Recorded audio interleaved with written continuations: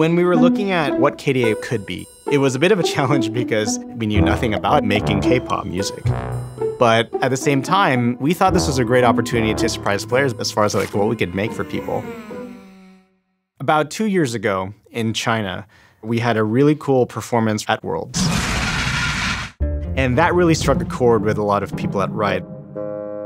When a lot of our team came back, we found out that Worlds 2018 was in Korea. A bunch of different Rioters were kind of these hidden K-pop fans. So it was kind of cool to see everybody's eyes and ears perked up like, why don't we make a music video? And then put dance choreography in there. And maybe lean into K-pop a bit. But we knew nothing about it in terms of how to make K-pop music. We had experience recording people and making songs. This was a whole new genre.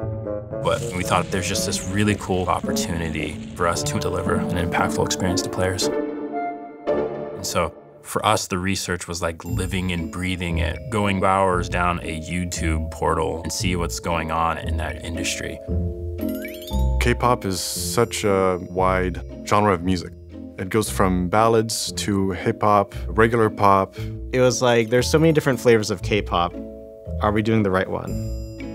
So we needed to figure out all of that together, and it was difficult. So there are multiple levels of people working on KDA. People on the skins, on the music side, on the campaign itself. And we went through so many concept iterations to find the tone that we wanted to hit for KDA. Early on in the process, a lot of people referenced the old popstar thematic.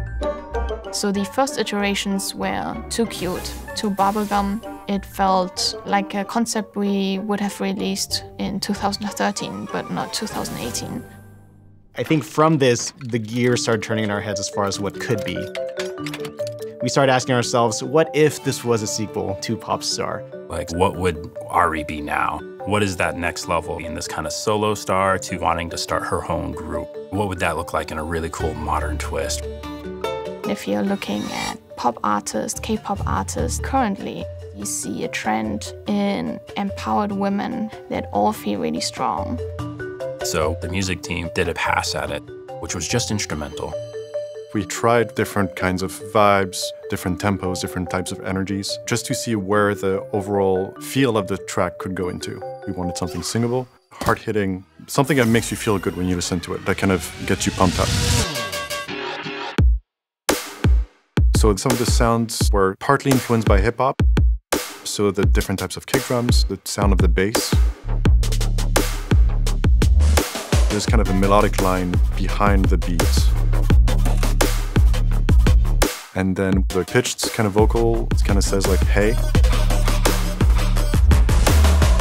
I would say those were the core kind of ideas melodically. Hearing it for the first time, like there was something special about that.